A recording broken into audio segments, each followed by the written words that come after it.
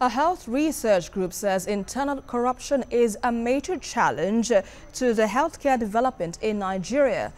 A health policy research group uh, in Abuja revealed this and that said that the health sector spends less than its allocated fund.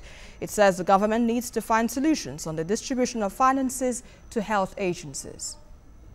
Corruption is very prevalent in the Nigerian health sector. And, uh, you know, corruption is not just when you steal money.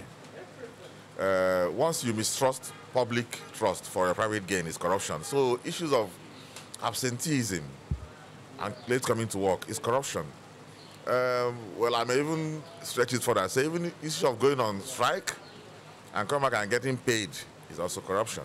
So um, plus the ones we know about bribery and all that. And so if we improve on how we use this money, whether it's from uh, go, uh, uh, government budget or from health insurance, in a strategic way, we can achieve a lot. So one of the challenges in Nigeria is health spending. So, for example, Nigeria spends far less than the 5% of GDP on health that is needed to, develop, to deliver a basic package of services. It spends far less than the 15% of government expenditure on health that was, that was um, declared in the Abuja Declaration here. So, so that raises some interesting questions about what do we know about, about spending and what do we know about spending on health.